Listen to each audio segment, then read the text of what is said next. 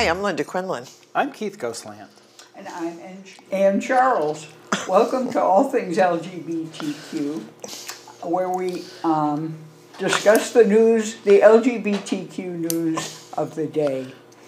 As you know, we're taping in Montpelier, Vermont, which, as we which we acknowledge is unceded indigenous land. So let's turn to some news of the hour with Linda. And the national news. Oh, hi, there's my camera. well, there was a mural painted by a high school student which came under fire when parents alleged it was promoting LGBTQ imagery and witchcraft. Earlier this year, a Grant, Michigan high school sophomore won a contest to brighten up the middle school. Um, and uh, the student received approval to paint images of smiling children, and as well as the messages stay healthy. In the painting, there are three children. A boy is seen in a light blue, pink, and white t shirt, the colors of the transgender flag. A girl wears pink, royal blue, and purple, the colors of the bisexual flag. And a second girl is in a rainbow pride colors. Um, and the superintendent, Brett Zuver, was a contest judge. He did not respond to an email asking if he understood the meaning of the colors when the student's design was chosen as the winner of the contest. Um, the final mural included some features that were not part of the agreement, including a demon face inspired by a popular video game called Genshin Impact, and a Hamsa hand, or Hamsa hand, also known as the Hand of Fatima or Hand of Mary. The palm shaped design has been a symbol for good luck or protection for centuries in many cultures, including Latin America. At the school board meeting on October 10th, parents accused the student artist of promoting witchcraft by indicating the Hamsa hand as well as the video game character that bears the likeness of a demon. Parents also objected to the use of LGBTQ colors. The student said, I put art, my art up there to make people feel welcome, the student artist said, her voice breaking in footage captured at the meeting by local news. One man at the meeting called the mural hate material. Added another adult at the meeting, I feel like she did a really good job finding excuses to defend the things she put on this mural.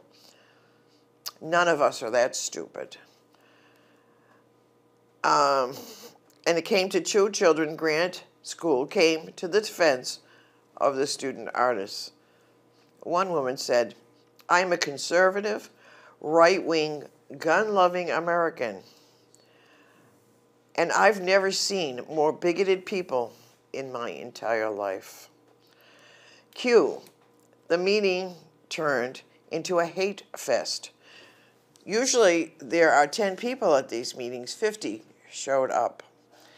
It wasn't even about the mu- mural, one mother told uh, today. People were talking about how we need to pray the gay away.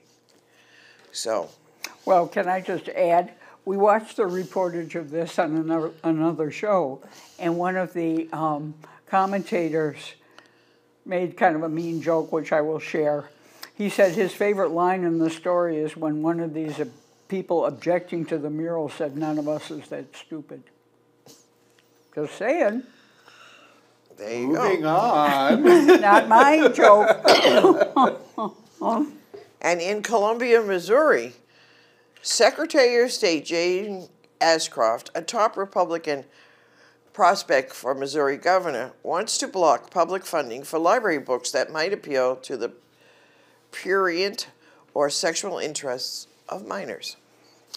It does not include a more detailed definition or include examples of which specific books would be restricted, or include um, or appealing sexually to children or teenagers. The library proposal is what's known as an administrative rule, which would have the same effect as a law if enacted. When the state dollars are involved, we want to bring back local control and prevent parental involvement in determining what children are exposed to, Ashcroft said. Uh, foremost, we want to protect our children. Uh, the Missouri proposal would require state funded libraries to adopt policies on the age appropriateness of literature, which is already common at both schools and public libraries in the state. And under the rule, anyone could challenge the access to books. So, and in different kind of news, the federal jury in Kevin Spacey's sexual abuse trial found that the Oscar-winning actor is not liable for battery against Star Trek Discovery star Anthony Rapp. The jury of five men and six women deliberated for just under 90 minutes Thursday afternoon. Rapp appeared stoic as the verdict was read, and his lawyers seemed dejected as they left the courtroom in downtown Manhattan. Spacey dropped his head after the verdict was announced and then stood up to hug his lawyers. I'm very grateful to the jury for seeing through these false allegations, he said. Outside the courtroom, Spacey, flanked by bodyguards, did not say anything outside before hopping into his black SUV and driving off. Rapp said he was deeply grateful for the opportunity to have his case heard before a jury, and I thank the members of the jury for their service. Hmm. So,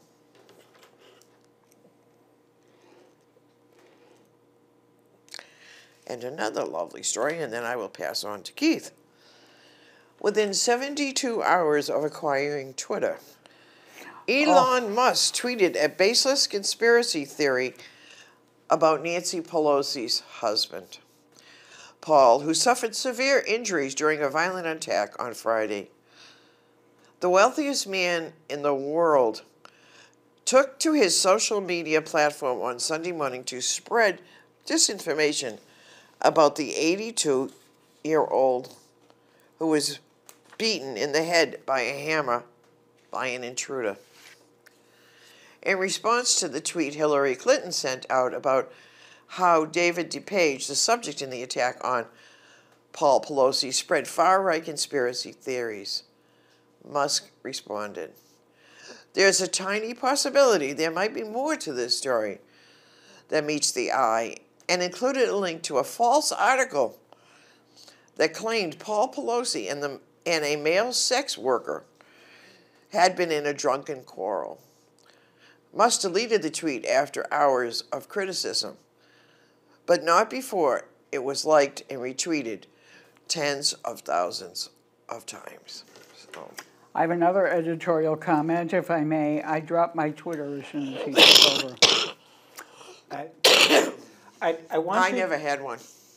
I, I want you to hold on to that the whole social media genre and the lack of oversight and how do you verify that what is being posted is indeed accurate i think as, as i said on our last show th- the common belief is well if it's been tweeted three times then it must be true but And just as another editorial before you go on, um, I was reading that TikTok is even worse. That it is, it really addicts um, they have an algorithm children, yeah, Yeah. at very young ages. And so for the rest of their lives, they will be following them, knowing what their likes and dislikes are, and playing on those. So it's very scary.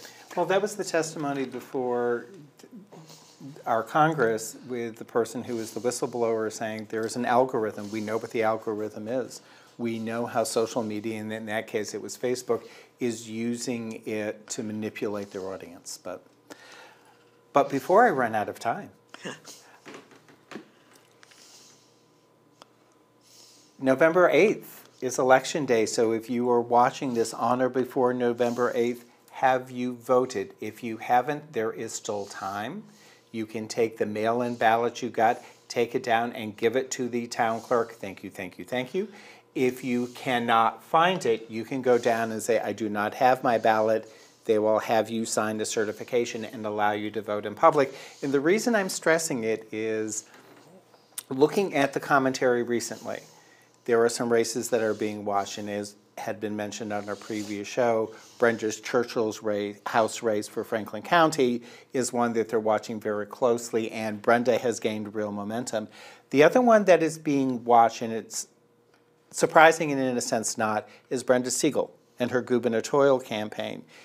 And the comment is she is still very much the long shot, but her campaign has made Vermont, Vermonters look differently at those six years of vetoes and the impact of that inaction. So, I hope she That- makes a good showing.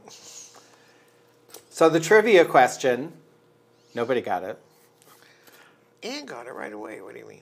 We both got it immediately. Because Zach told you. Paula Poundstone, Tim Gunn, Janeane Garofalo. Okay, that's a really unlikely trio. What is it that they have in common? So, looking at events, Rainbow Umbrella, you've got the women's discussion group, and you have the book discussion group. And we have a poetry reading, but of course this will air after the reading on Friday. But But the last reading was a great success. Do Exactly. you agree? Absolutely.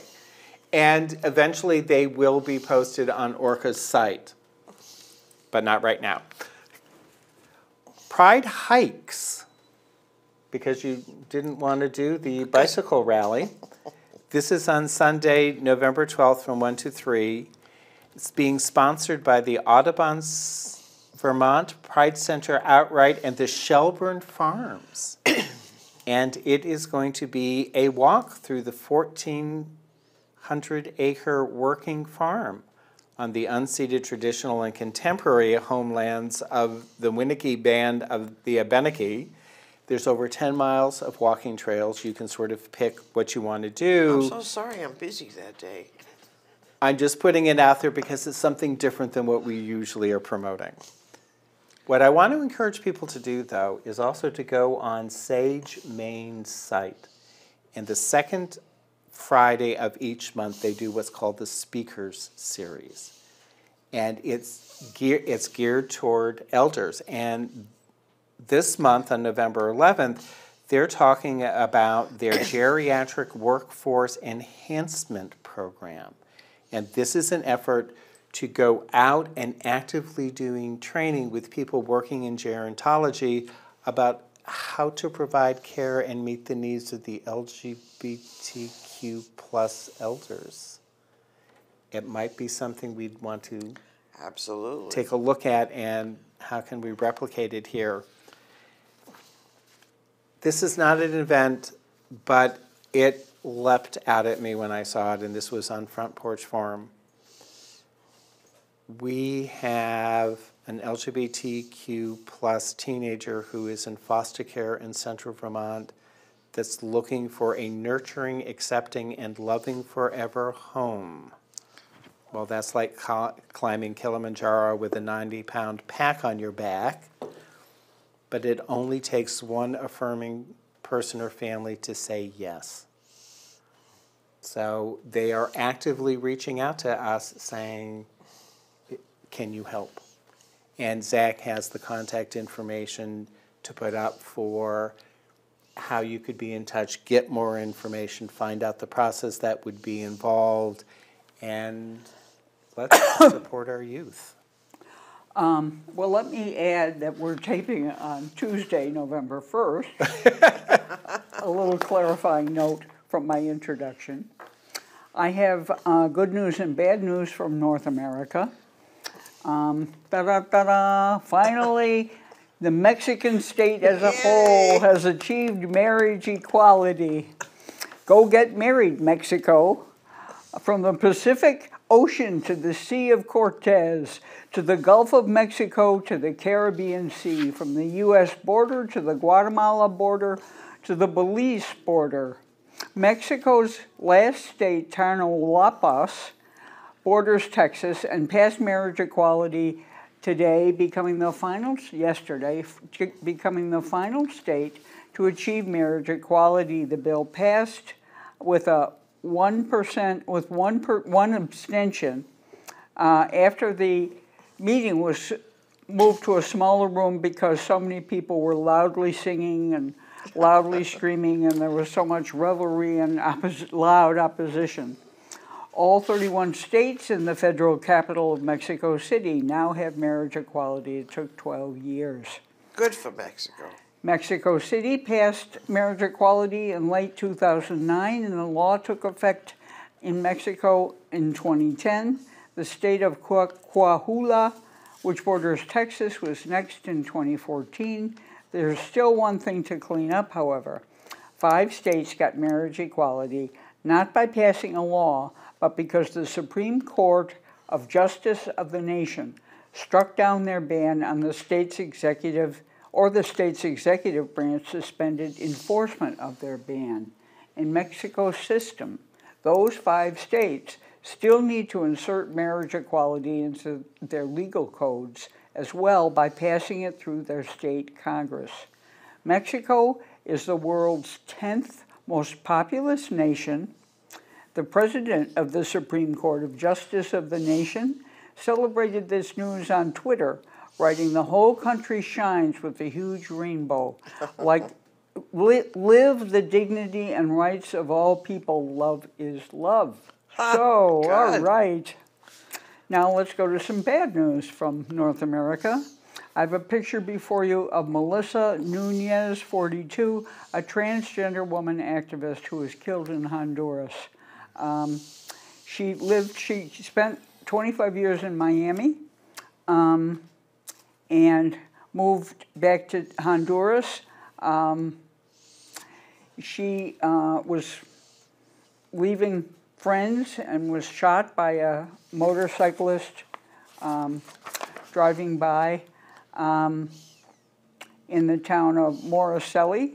Uh, she dropped some friends off and was leaving, talking on a cell phone when she was gunned down. Police spokesman said the crime, uh, the motive behind the crime is thought to be a personal issue with her enemies, whatever that means. Her sister said she'd returned to Honduras in November 2021 after living in the U.S., as I said, for about 25 years. Uh, the coordinator of the LGBT group uh, in Honduras said 95% of the LGBTQ community that lives in Honduras does so because of, leaves Honduras because of high levels of violence and discrimination or people who have been attacked or fired from their jobs because of their gender orientation or who have suffered uh, life threatening attacks. The head of the National Human Rights Commission's regional office said his office would follow the case to ensure that the crime does not go unpunished. So good news and bad news from North America. Um, now, if I'd like to go a little south to South America, if I may. More good news. Let's show you a picture now of Eduardo Leite, 37, uh, member of the centrist Brazilian Social Democracy Party. Um, he defeated Onyx Lorenzoni of the right wing Liberal Party, who is President Jair Bolsonaro's former chief of staff by a clear margin, uh, to be governor of Rio Grande do Sul. Uh, he defeated uh, Lorenzo Lorenzoni, the um, Bolsonaro henchman, ally, uh, defeated Leite in the election's first round, but neither received 50% of the vote, so a runoff election took place on Sunday. Rio Grande spoke louder, tweeted Leite, tweeted Leite after his victory. I appreciate all the votes we received. It's out of love, it's out of respect, it's for our project. Starting today, we have another chapter in our history. It's all of us for all of us, and we will go much further. He became governor of Brazil's southernmost state in 2019, came out in July 2021 during an interview with a late night talk show host. First, he endorsed Bolsonaro despite his rhetoric against LGBTQ people and intersex Brazilians and his opposition to marriage equality. But then he unsuccessfully sought his party's nomination to run against Bolsonaro um, in this year's presidential election. And he's begun, he began to sharply criticize him over his handling of the COVID 19 epidemic, which was execrable, as we recall. He's one of 324 openly LGBTQ candidates who ran this year's gubernatorial, state legislative, congressional, and presidential elections. And you may recall last time I showed you a picture of two transgender women who won two seats in Congress uh, on October 2nd. Uh, Fabio Felix, as I said last time, a mem gay member of the Socialism and Liberty Party, um, also won re-election on October 2nd. So good news from Brazil. Let's stay with Brazil and talk about this film clip, which is called The First Fallen. This dramatic story of three friends in a small Brazilian town in 1983, at the time when the first wave of AIDS epidemic, the AIDS epidemic takes hold in their community, they decide to form a chosen family of their own. Um, the First Fallen is the title. Do you get it, right? This is Rodrigo de Oliveira's first feature length film, but he brings to it an understanding of the historical context of his characters who live in the Brazilian state of Espírito Santo along the Atlantic coast just north of Rio de Janeiro. The Portuguese title is The First Fall, and I won't share my Portuguese with you. Perhaps it perhaps better captures the determination, determin, determination of the three characters, Susano, Susano, Umberto, and Rosa, who act like soldiers and do something different in response to the largely misunderstood epidemic of AIDS as it arrived in Brazil in 1983. So let's take a look at that clip.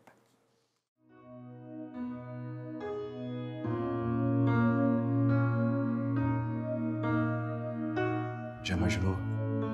Você no teatro? Sonho de menina. Sempre tenho uma carta na manga, sabe? Eu costumo dizer que se você viesse de onde eu vim, você ia me entender.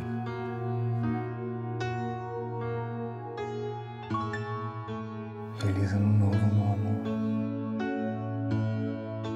Qual é o problema do tio, mãe? Por que, que ele é daquele jeito? Ah, Muriel, teu tio tem os segredos dele também.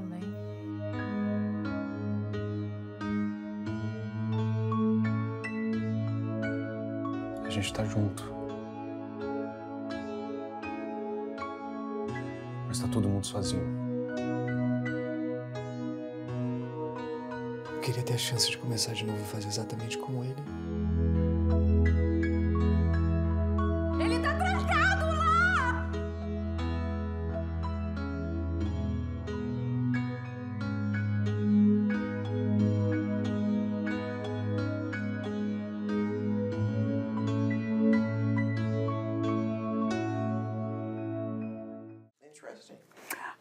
and I couldn't figure out where it's showing, so it's been at festivals, so look around for it, because it looks really good. I wish there were a longer clip so we could get a greater sense of it, but that's why I shared the plot summary. now, should I stop? I'm on, to, and I can go on to Asia. I think you should do that on your next clip. Okay, Okay? very good. All right. Now we have. When did she start listening to you? I know. I'm organizing it by chunks now. And we're going to be checking your passport Yes. to make sure you have visas for all these. Rowan Ward, a non binary contestant in the Second Chance tournament on Jeopardy! You can see their picture.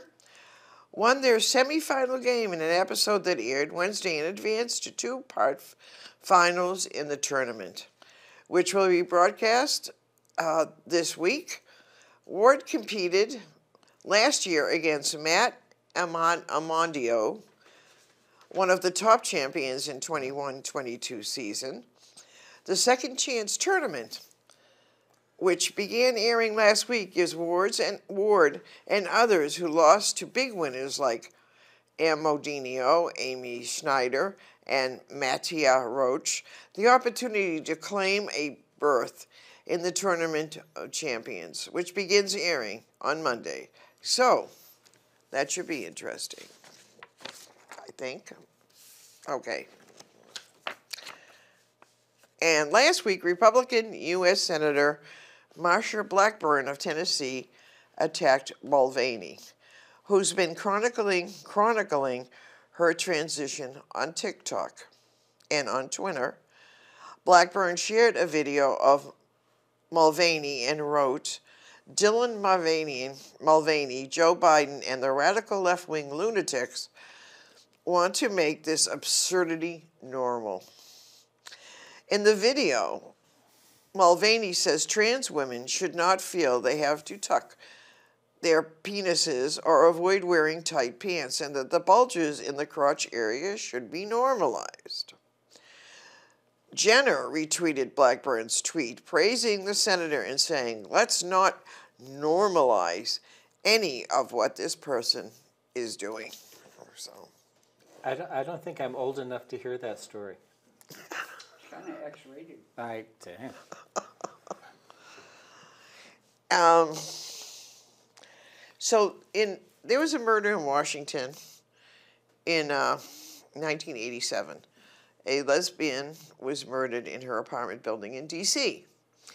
And um, her girlfriend was put in prison for the murder. Well, it turns out after 20 something years, uh, let's see, uh, a long time, I don't know, 30 or 40 years, this girlfriend has been in prison. And it turns out that the DNA does not connect her No. to the murder, and um, it connects a, a male to the murder. And um, this person that killed the lesbian also appears to have killed some other woman in the same building. So we'll keep you posted. I wonder on- if she can sue for wrongful imprisonment. maybe, but you know Won't they help really. Yeah. Um, so i we'll keep you posted as we hear more about how that progresses. Because money can't give you all those years back. I know you can't. I need, you know, money's not going to do it either. I mean, if you now, you went in when you were 35 Yeah. and you come out at 50 or 55, it's kind of. And this is an interesting twist. The Kroger supermarket chain has settled the lawsuit via a consent decree with two former employees in Arkansas who claimed they were fired for refusing to wear aprons with a rainbow heart, which they felt violated their religious beliefs. The two believed the heart was in support of LGBTQ plus community. On Thursday, the Equal Employment Opportunity Commission announced the Kroger Limited Partnership had to pay $180,000 to former employees um, in return for dropping their suit. Both employees were subsequently disciplined and fired in 2019, although Kroger maintains they were not terminated in retaliation for their actions. Um, they were 57 and 72 years old, respectively, and at the time they were fired from their positions at Kroger Supermarket in Conway, Arkansas. The employees will receive $70,000 each. An advocacy group in Denver is bringing attention to domestic violence um, as an ongoing issue. Men and LGBTQ people have been calling for help in more significant numbers since the pandemic began, uh, according to the group Safe House Denver, is hoping to snap the stigma of speaking out for anyone who is a victim of domestic violence. According to its website, the group is the only agency in the city and county of Denver that offers comprehensive domestic violence services to victims of domestic abuse. So it seems like more men are coming forward now um, with domestic abuse. Rich, Richland, Virginia, I'm Richland, Washington. By a four to one vote, the Rich, Richland School Board approved a contentious policy that instills certain restrictions on the way race, sexuality, and culture are allowed to be discussed in schools. During a school board meeting on the evening of the 25th, four of five Richland School Board members agreed to Policy 2360, which is entitled Race, Culture, and the Curriculum. It's, an, it's a near identical policy to the one passed by the Kennewick School Board earlier this year. The following passage comes directly from the document shared during this meeting. So, and then lastly, I will talk about a high school girls volleyball team in Cherokee County School District, North Carolina, is forfeiting their remaining games this season against a school that has a transgender player. Oh. The decision came after a player on the Hiwassee Dam High School team was injured by a ball spiked by a player on the Highland School team, according to station WTVC in neighboring Chatta- Chattanooga, Tennessee. Other sources have identified the spiker as a transgender girl. Notes from Cherokee County Board of Education meeting call her a biological male. There was much public comment at the meeting. One speaker claimed that the presence of a biological male posed risk to girls and that he feared biological males would over would um, win over girls' sports. Another commentator stated the board that he was hopeful they voted on the issue based on their morals, ethics, and Christian upbringing. As related in the notes, 18 states have passed laws barring trans students from participating on school sport teams designated for their gender identity. Some of them affect trans girls only, while others affect trans boys as well. Some of them include state colleges and universities, in addition to public elementary and secondary schools. However, North Carolina is not among those states. So. Hmm. All right. So hold on to that vol, oh, are you done? Yep, yep. Hold on to that volleyball theme because let's go to Randolph, Vermont. And I, I'm going to try and go through this chronologically and as logically as possible. But I want you to keep in mind that sort of a lot of this has been played out on the social media. And sort of the backdrop Randolph, it's in Orange County. One of the election races being watched very closely is the Orange County Senate race, where the Republican candidate is voicing much of that alt-right, you know, propaganda, and they're seeing it as being a very close race. Because of redistricting, they went from purple leaning toward blue to purple, we don't know. So, and also keep this in the back of your mind. The t- 2019 behavioral risk survey that was done here in Vermont, LGBTQ plus youth are twice as likely to be bullied and five times more likely to attempt suicide than their cisgendered heterosexual peers and LGBTQ plus youth are three times as likely to have skipped school in the preceding 30 days because of feeling unsafe. Randolph, lots of information floating around. Where most people, it came to most people's attention was a WCAX story, which focused very heavily on one student who was 14 year old member of the girls' volleyball team. This was their first year playing on the team. That player's mother had contacted CAX and said, This is what is happening with my daughter and a transgender student that's being allowed to use the same locker room. CAX interviewed the student, but only that student, and aired a very biased story about so what is happening with high school locker rooms, transgender students, etc. The Randolph School District could not comment because there was an active investigation going on, and there will be more about that later because of a filing that happened last week disclosing more information than, the, than we, the public, have been able to get. However, the, the CAX story was picked up on social media and it went not only national but global to such an extent that the Randolph School District had to close down their website because of the hate that was being directed toward them. They, the superintendent stood up and said, you know, this is what happens when, you know, there is no accountability on social media. We are not able to make a statement because HIPAA regulations say we cannot disclose, and this misinformation just gets perpetuated. I want you to hold on to that thought because when I talk about the filing, this is all going to look so different.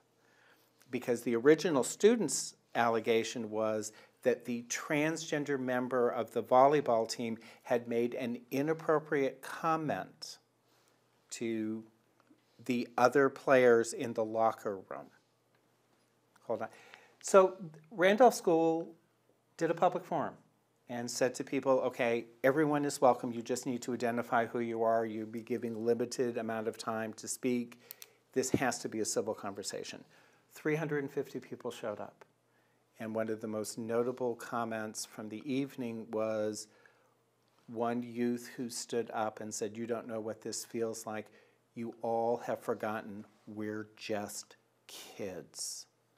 Basically saying, We need help and support. And they got a standing ovation. The second community forum that had been scheduled had to be postponed because of the, again, increase in hate coming from across the nation and across the world. So, apparently, the school has taken action.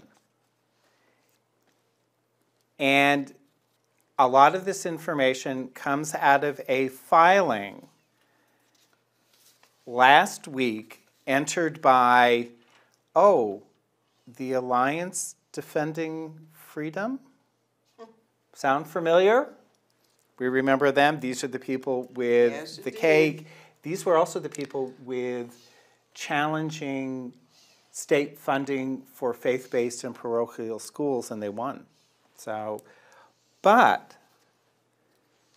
the student in question, who was interviewed by WCAX, they will be student one, and student one's father, who apparently is also a coach for the middle school, received letters from the school district and the co principals.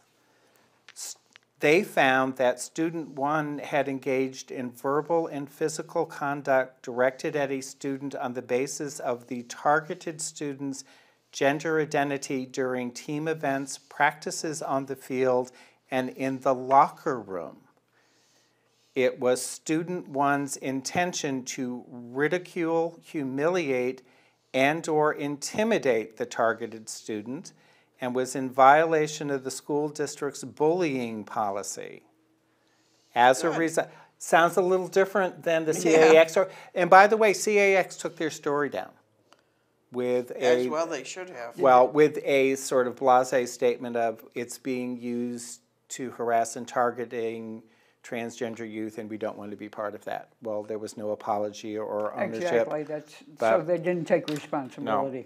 But, okay, this is going on, you know, the school suspended student one and said that they had to take part in a restorative circle and submitted an essay documenting what they had learned from the experience.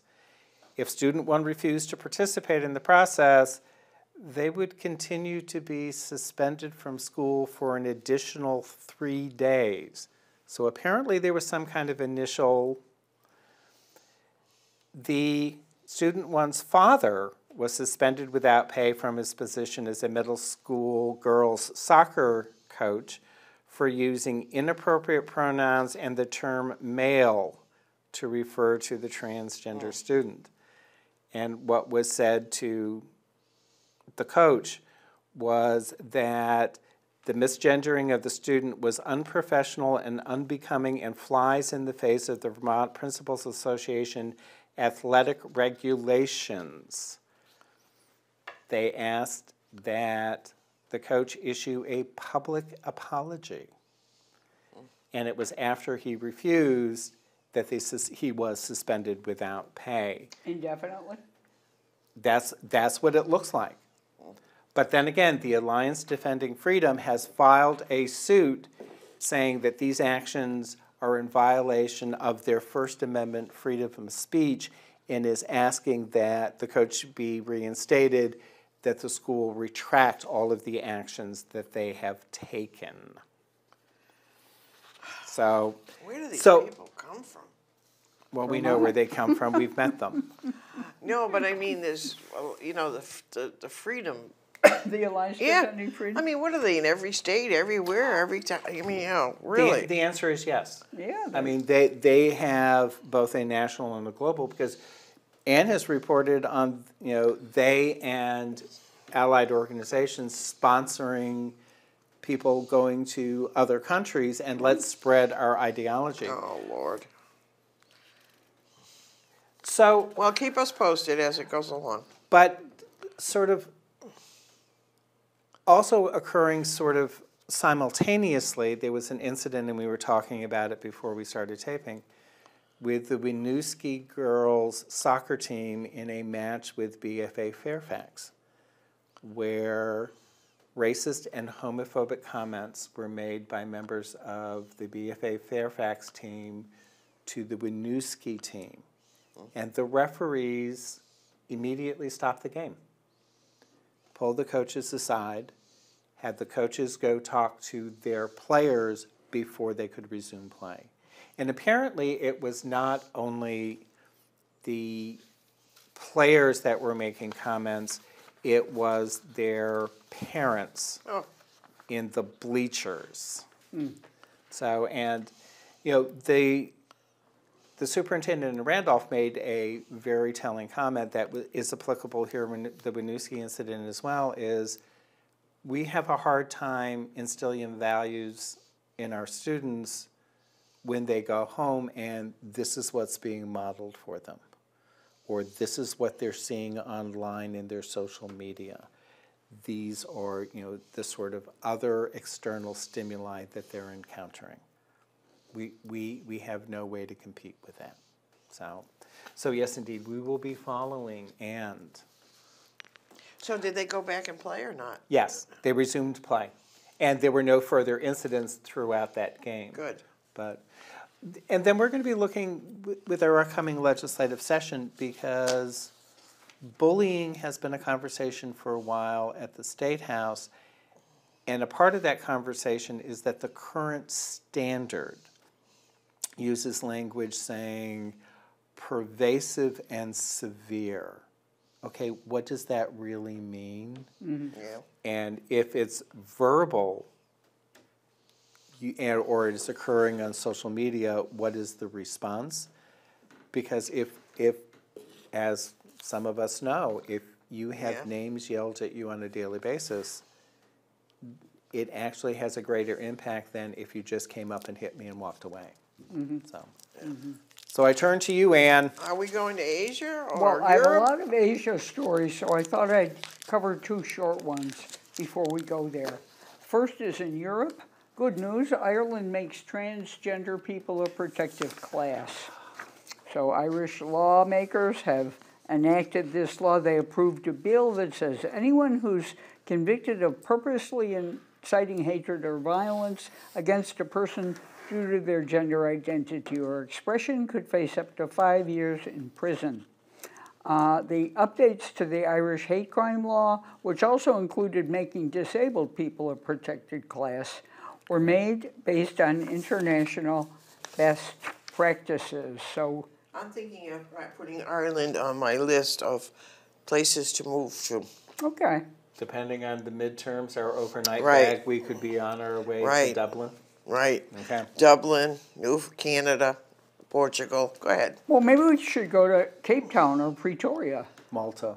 No, too far. Well, the reason that we want to go to Cape Town or Pretoria is now they have, they've installed the continent's first Pride crosswalks in Africa. One installation is located near apartheid era buildings in Pretoria. South Africa has become the first country to install Pride crosswalks in its major cities. There you go. Um, Cape Town followed suit. The first one was in Pretoria on October 20th. The second was in Cape Town two days later. Um, as we know, Pride, and let's take a look at this. One of the first, uh, the first picture I'm showing you is of the Pride crosswalk in Pretoria. Uh, they've been installed in several European and U.S. cities to promote the inclusion of LGBTQ and intersex people. Some activists, in South Africa have long called them, for them to be installed. Um, Church Square, where the one, the crosswalk you just saw is located, is where most of the apartheid buildings are situated. In, in the shadow is the father of the Afrikaans nation, Paul Kruger. This is the heartland of apartheid. By having this, the first such conservative city in the first such conservative city is groundbreaking, said Pretoria Pride. Uh, Cape Town uh, has um, also put one in. Um, this crosswalk, said uh, Cape Town councillor, is a fantastic statement to the world in Cape Town that two SLGBTQIA plus rights are not something to be hidden, but in fact that we celebrate our freedom and the rights of all people in the city of Cape Town. So, Good for that. All right. now we have terrible news. I'm going to start with awful news from Asia and maybe and try to ascend to From where? from Asia. Asia. Let's start with a um, story I didn't get to last time, but is still horrible. A gay Palestinian, Ahmed Abu Marhia, 25, was beheaded in the West Bank, and I have a picture before you now of him. Palestinian Authority police say they've arrested a suspect in his death. He'd been living in Tel Aviv. Uh, he'd sought asylum in Israel, um, was beheaded in the city, in the West Bank city of Hebron, in an act that was recorded on video and uploaded to social media by the alleged perpetrator. He had been living in Israel for the past two years as an asylum seeker, including stints in various LGBTQ shelters, after authorities acknowledged that his life would be in danger if he returned to the Palestinian territory. An estimated 90 Palestinians who identify as members of the LGBTQ community currently live as asylum seekers in Israel. To qualify, they must prove that they have suffered discrimination or threats of violence in their home communities. Until this past July, and this is unfortunate, asylum seekers were not allowed to work in Israel.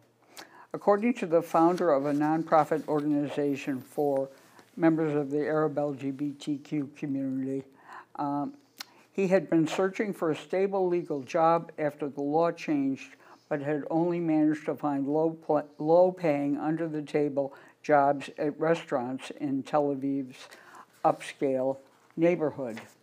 It was not immediately clear how he ended up in Hebron, but friends believe he was kidnapped prior to his murder, although there's no concrete evidence.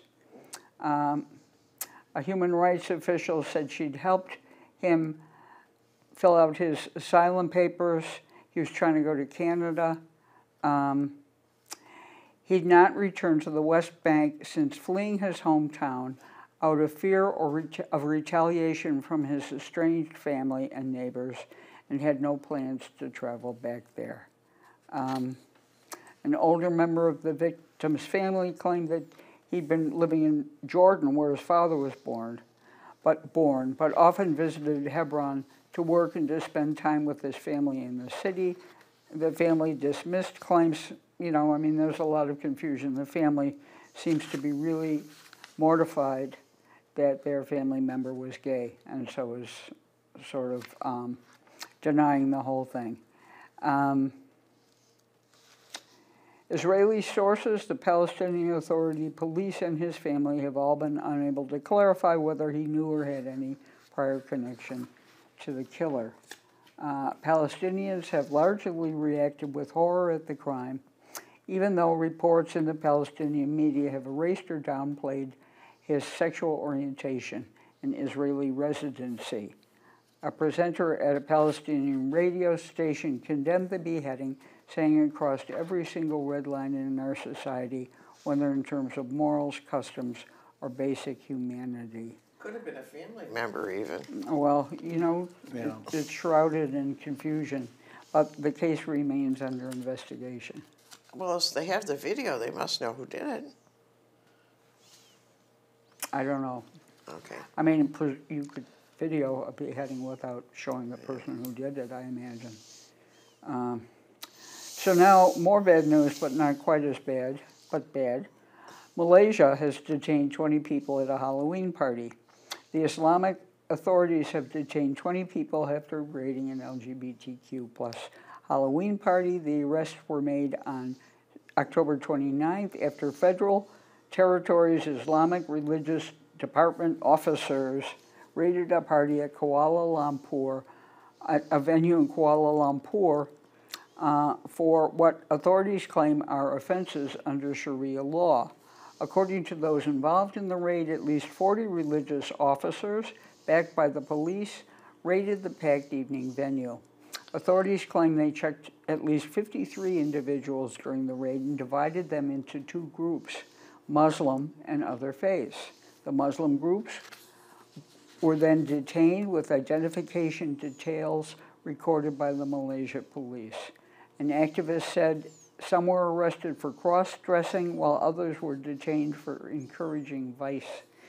The authorities isolated the Muslim participants um, and identified anyone that did not dress according to the gender they felt them to be. But of course, it's Halloween, so people were dressing in costumes. Of those detained, 18 were questioned about the LGBTQ event by police on October 31st and have been asked to return for further inquiries. Um, a former former Klang MP, Charles Santiago, said, "I urge authorities to cease hunting LGBTQ plus people down as though they are criminals." Um, several human rights organizations have expressed concern over Malaysia's incredibly archaic view of LGBTQ rights. Currently, the country imprisons openly LGBTQ plus people as well as preventing same sex marriage and gender transition. According to a 2021 survey, Malaysia is one of the worst countries in terms of public opinion on LGBTQ plus people. In total, 60 per, 65% of Malaysian citizens believe same sex couples should not be allowed to marry or obtain any kind of legal recognition, such as a civil partnership. Conversely, a mere 8% said they support same sex marriage. Not only does the country punish homosexuality with imprisonment, it actively supports conversion therapy centers with government funding. A report from Human Rights Watch found the Malaysian government funds state sanctioned conversion therapy retreats which aim to rehabilitate LGBTQ people. And let, remi- let me remind viewers that the popular vacation spot Bali is under the Malaysian government, so beware. Now, um, We only have three minutes, so I don't know how much, if you could do one snappy one, and then we can say goodnight, or, sure. Let me talk about, um, With, with the story she's reporting, I'm not sure I'd use the word snappy. I- Well, I have exciting news for the readers in the audience, and they involve a groundbreaking anthology that sheds light on 18 queer Arab voices. And I have a picture before you now of Elias Jahshan, who is the editor of This Arab is Queer. And he's standing there with a copy of the anthology. In a region where 15 countries at least um, criminalize homosexuality, and in those that don't, there's a don't ask, don't tell culture. Queer Arab communities have been forced to the shadows, but they undeniably exist. And what this editor said that I think is so interesting is that Arab LGBTQ people, the reporting uh, on atrocities against them lacks a nuance. So um, he lived in Australia for a while. He was raised in a Christian household. He found a lot of underlying Islamophobia and racism in the reporting of how those perceived to be gay were hurled from rooftops and stopped for engaging in extremist group activities. So um, and we can buy this here in the US? we can. It's Good. 1995 out in paperback. Good. He says, I wanted to show that we have agency and can tell our stories in our own way. We don't need people speaking over and about us all the time. I think this Yeah. is very exciting. I, I can't want wait copy. to read it. Yeah. Yeah. We'll have to go down to Bear Pond and put it in an order. Yeah, put it in That's order, right. right? Okay, well, we have a minute left. Um, anybody have any commentaries, or shall we just say goodnight? Well, Trivia? Oh, trivia! well let's I'm hear sorry. the trivia question. Okay, you know the answer, they don't. Yes, that's oh, they true. do. I'm so, sorry. Well, the audience doesn't. The camera people do. Well, Paula Poundstone, Tim Gunn, Janeane Garofalo, what do they have in common? Well, several episodes ago, Kim Ward was telling us about polyamorous. They ain't that. They are asexual. In interviews, all of them have said they essentially have no libido, they have no attraction, they have no interest, they are totally asexual, non sexual. How interesting. No, but okay. For, the, for those three specific people. I- yeah. It, it's another part of our community and expression that we Yep. don't spend a lot of time talking about. So Okay. Well, on that note, see you in two weeks. In the meantime, Resist. vote and resist.